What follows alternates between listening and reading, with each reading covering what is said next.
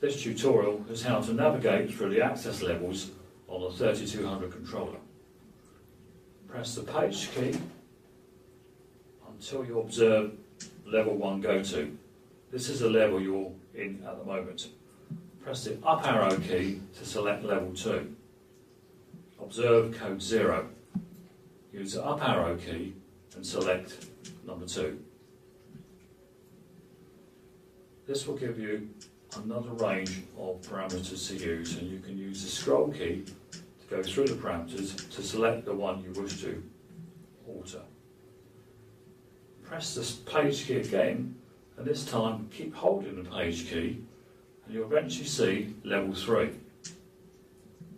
This returns with code 0. Press the up arrow key and select number 3. This will now give you various lists of parameters to use. To enter level 4 or config level, press the page key until you see access.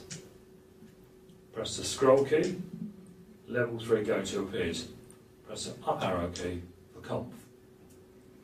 This is now accessing the config level. Press the up arrow key to select number 4.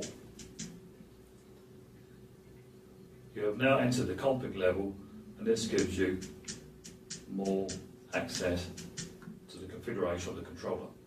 If you wish to access this level or exit this level, press the two left hand buttons together and observe conf go to.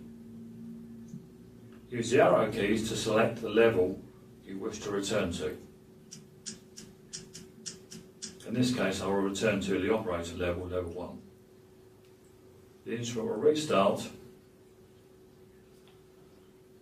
and return back to the normal screen. For more information and instructional videos, please visit eurotherm.com. Thanks for watching.